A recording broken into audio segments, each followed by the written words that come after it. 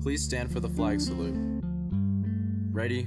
Begin. I pledge allegiance to the flag of the United States of America and to the republic for which it stands, one nation, under God, indivisible, with liberty and justice for all. Good morning, students. This is the week of November 9th. I'm Nathaniel Atala. And I'm Citlali Garcia. Today we will be bringing you the latest school news and weather, And, and, this is the this Quartz is the Hill Update. Update.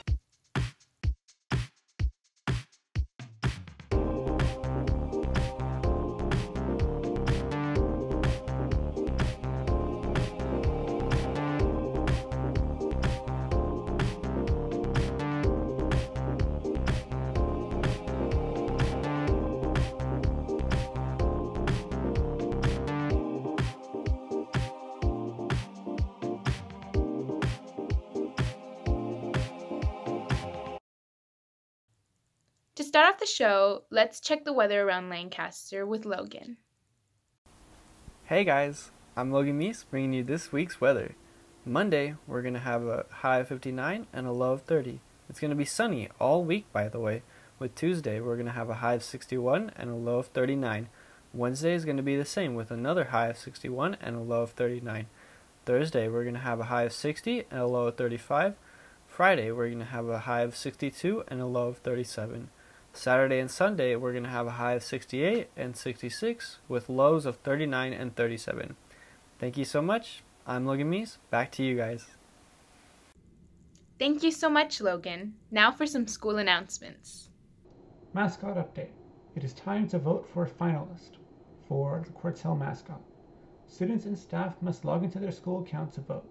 We encourage you to participate and have a voice. This is the vote that will put a name onto the final three. The mascots up for vote are the Quartz Hill High School Defenders, Rattlers, Ravens, Royals, or Quakes. Here are some important dates approaching. November 11th, Quartz Hill will be celebrating Veterans Day, which means there will be no school that Wednesday.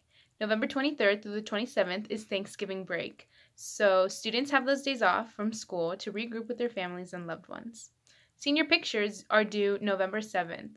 For questions or inquiries, please email Ms. Martinez, our yearbook advisor, at lmartinez at avhsd.org.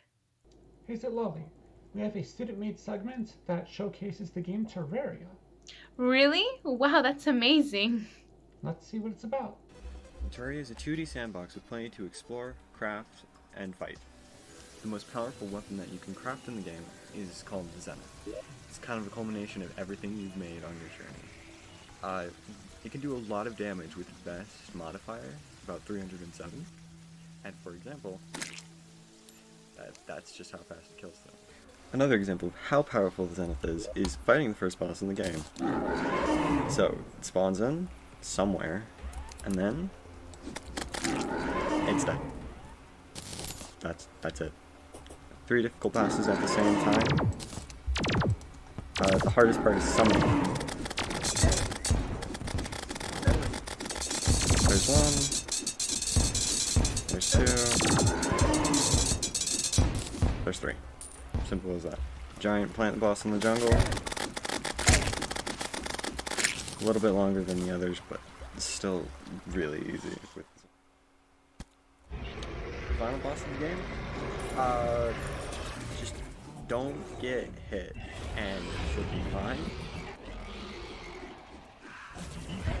I got like it helps. It has so much health, but it helps just drops so fast because it's hitting so much. That's why it's so powerful. Also, it auto locks on things. But just watch your health and make sure you're not in the back. And then you should be able to beat it. Hopefully. But that is the hardest boss in the game. Defeated pretty easily. Well, while the weapon is really powerful, it's pretty complicated to craft, as you can see here. It takes so many swords and so many crafting things and so many bosses to defeat. It, it just takes a while to get, but it's definitely worth it for how good it is. Hey, Nathaniel, why couldn't the leopard play hide and seek? I don't know. Why? Because he was always spotted. Well, those spots are actually what allows the leopard to be so stealthy and hunt. Anyway, we'll be right back after this quick commercial break.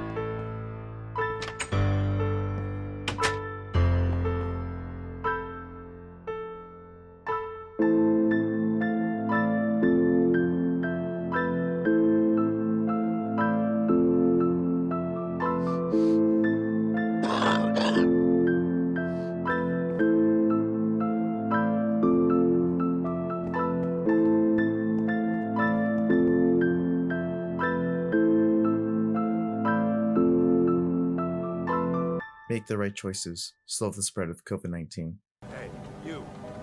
Finally awake. You were trying to cross the border, right? Walked right into that Imperial ambush, same as us. And that thief. Totally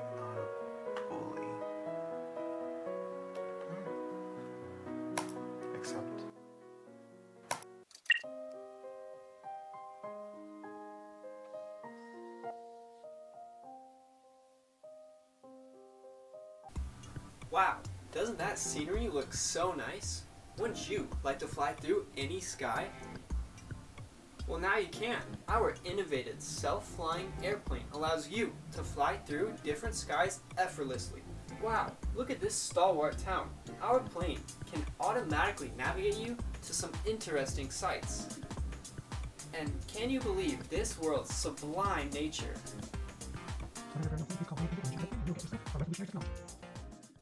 Welcome back, students. And hey, Nathaniel, did you know if you search for askew on Google, the content on screen will tilt slightly to the right? I did know that. But also, did you know that the fastest Rubik's Cube solving time is only about 4 seconds? And that was set in 2018. That's crazy. And now for some news around the AV. City of Palmdale is hosting two virtual community events on Zoom to gather feedback from residents about what features they would like to see at Melvin J. Corson Park, located at 10th Street East between Palmdale Boulevard and Avenue R. The first meeting will be held on Thursday, November 5th from 6:30 to 7:30 p.m. and will provide an overview of the discussion of park amenities. The second one will take place on December 2nd from 6:30 to 7:30 p.m. again and will present a site plan for review and comments. Assemblywoman Christy Smith was clinging to a slim lead Wednesday in her bid to unseat Mike Garcia in a rematch for the 25th Congressional District post. With initial vote counting completed from Tuesday's election, Smith had 50, 50.5% of the vote to Garcia's 49.5%. According to results released Wednesday morning on the Secretary of State website, um, it was not immediately clear how many ballots still remained to be tallied in the race, and mail in ballots can be received and counted for as many as 17 days after the election. Well, that puts a wrap on this show, but join us next week for more news. Thank you all for tuning in. I'm Nathaniel Lazalo. And I'm Citlali Garcia. And, And this, this has has been been Quartz the Hill Quartz Hill Update. Update.